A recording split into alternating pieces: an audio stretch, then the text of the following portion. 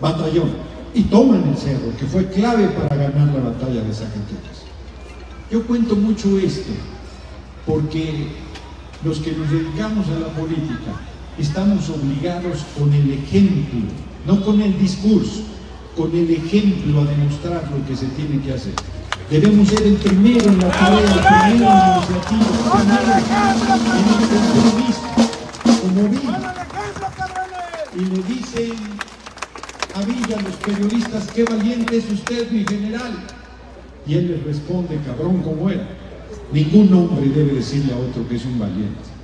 Y luego suaviza.